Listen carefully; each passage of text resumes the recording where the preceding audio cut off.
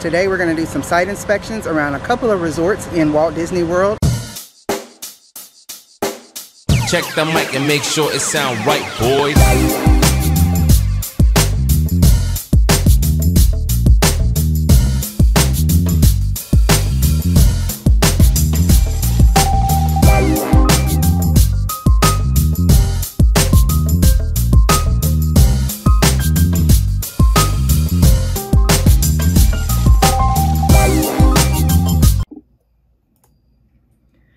Going to start with Coronado Springs. Um, the architecture and colors around here, including the flora and the fauna, um, it definitely resembles those regions of Spain and the Southwest.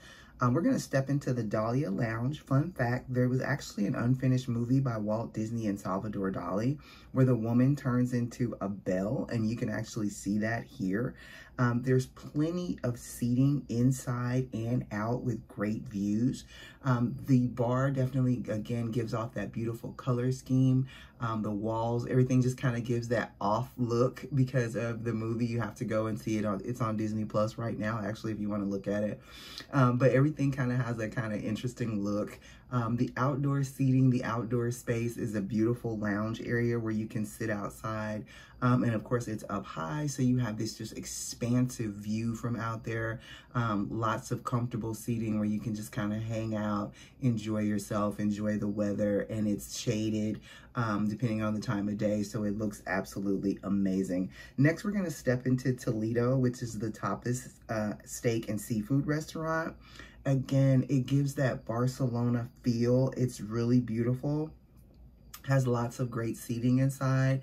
Sorry guys, I was stepping out of somebody's way that was going by with a tray. Um, but it has this beautiful Barcelona feel to it. It looks amazing. It looks beautiful. It has beautiful seating. I love the design inside. And again, continuing with that colored theme, you're gonna hear me say that a couple of times. Um, the wall of um, wines over there that they have are actually some exclusive wines from Spain. It also has a wood fire oven, which just does it for me. That just, I mean, it just really just makes it for me.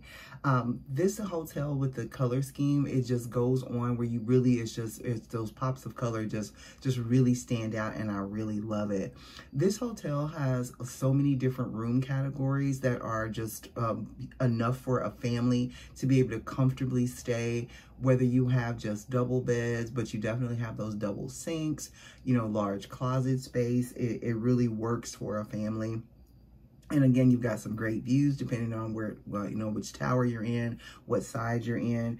Um, and it has many different room categories, including um, the deluxe suite, um, which has a separate living area as well as a half a bath, which you'll see here shortly all of the different room categories in this tower are just, it just really makes it for a, a larger family. So if you have a larger family, you definitely get away with um, staying here and not too expensive. Actually, it's not, it's not too expensive. It, this is a uh, moderate hotel, um, believe it or not.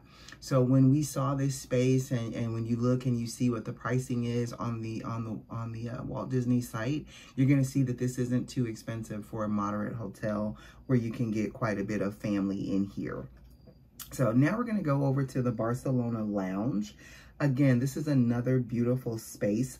And this is actually near the convention center. Um, and because this is one of the largest convention centers on the Walt Disney World property, um, you have a lot of different spaces where you can um, just go and relax, have a drink, have something to eat, have a snack, or just get away from it all for a second. There's lots of different restaurants that you can eat at over here, whether it's sit down, whether it's quick service. Um, there's a lot of uh, dining venues over here. Fun fact, if you guys look over that doorway, you're gonna see a hidden Mickey in the light you can only see that if you use it if you use a camera. So just take a moment turn around take a picture of it or either just turn your camera on and look at it and you're going to see those hidden mickeys. Like i said plenty of different places over here near the convention center where you can eat. Um, we definitely um, you if you have a, a, a big venue that or need a big venue this is going to be it. All right now let's head over to the caribbean beach resort um, this is definitely the hub of the Skyliner. Um, it actually spokes out to Pop Century. It spokes out to another couple of resorts. Uh, and then it wraps around and actually um, goes to Epcot. Um, so this definitely is a resort that you would love to um, stay at if you want to ride the Skyliner because it is the hub and you get to see a lot of different ones. Now, this amazing resort, I love it. Um, it definitely has some character meet and greets here, um, and it gives that distinct, that that beachy Caribbean vibe right in the heart of Disneyland. And, you know, it gives that, that Little Mermaid vibe um, without you know, just directly saying Little Mermaid, you know what I'm saying? uh, which includes the Sebastian Bistro, uh, where you can get Latin Caribbean taste right on property near the beautiful pool. It is amazing. Um, the pool is large. It has, you know, a nice water park, a nice water area for the kids. Um, and like I said, you can just walk right out of Sebastian's and head over to the pool area um, where the kids can have some have a good time playing over there. It's really fun, really cute. It just really just gives out it just gives that beachy vibe right in the heart of Disneyland, Disney World. So it's exciting to see that. Now this uh, particular property has a several different room categories and the rooms have lots of bedding options for large families. Uh, we definitely love the um, not Little Mermaid, but giving Little Mermaid vibes, if you know what I mean, type of room. Um, but I think the kids will really enjoy this room. If you have a larger family, their kids will really enjoy this room because they've got a lot of these uh, little hidden Murphy beds in there. And you know how kids like stuff like that. Um, but it actually just makes the room more spacious once you put it up. If everybody's gone, you know, um, getting up for the day, um, you've got a lot of options where you can have a snack in the room. You've got extra storage, um, like this table that you can pull out. But again, those hidden Murphy beds, if you don't want to hang out on, if it's time to go to bed, you can pull this down right out of the wall. And there you have it, a another hidden Murphy bed. And again, if you can look over the, you know, the top of the bed, you're going to see that Little Mermaid, not Little Mermaid, um, vibe that this room gives off. And so it has an amazing um, space for, for a family. So you actually, you can have the beds pulled up, you can have the beds pulled down, um, whatever it is that you need. And you have double sinks. You've got a separate shower and uh, toilet area so people can be getting ready in different spaces if you have a larger family. So that works wonderfully uh, in here. Now, we're going to head over to the Boardwalk Inn. This resort definitely has its own distinct old world vibe with a large, airy rooms, um, with some of them having um, balconies. But what I love about this lobby, when you look around, you see those six murals on the wall. Those actually represent the six resorts around the world. So it represents the Orlando, the Anaheim, Hong Kong, Shanghai, and Tokyo. That's what those six murals are around the around the lobby. Um, I love the old world vibe with the uh, carousel. You definitely see that. It gives you kind of that carnival feeling when you're in there. So everybody kind of really likes that. As I was saying, the rooms definitely um, give off a um, kind of a Victorian almost, but it definitely just like a kind of an old world vibe to it. Um, I really love the, the antiquities, I guess I want to call them, around the rooms.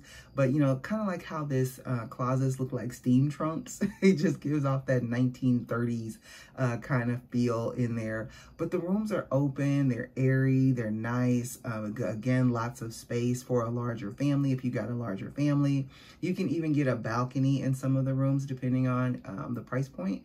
You can get um, you can get a balcony where you can look out over the garden or or whatnot. And again, the balcony in itself still keeps that old world look. And the bathrooms, you still gonna get that double sink. Um, so you can have multiple people getting ready at the same time. The bathrooms and the shower is separate. Um, that's what I love about Disney. It definitely understands the concept of a family having to get ready together. Um, but for me, guys, the showstopper at this resort are the 12 garden view rooms with club level access. Guys, these only sleep two adults. That's it. two adults. The size of these rooms is amazing. Um, you've got so much space, but guess what, guys? This is more like a honeymoon spot. This is what I definitely would say if you've got some adults at Disney who want a honeymoon, this is gonna be the spot for you. It is a, it's beautiful and I love it. Two adults, all that space, it's the perfect honeymoon spot for me. All right, guys, let's head over to the Grand Floridian. In my opinion, this is the crown jewel of Walt Disney World. Um, just the Victorian elegance, that soaring um, lobby. It's just beautiful. You're a hop skipping away from Magic Kingdom, so you're already in that in that princess vibe.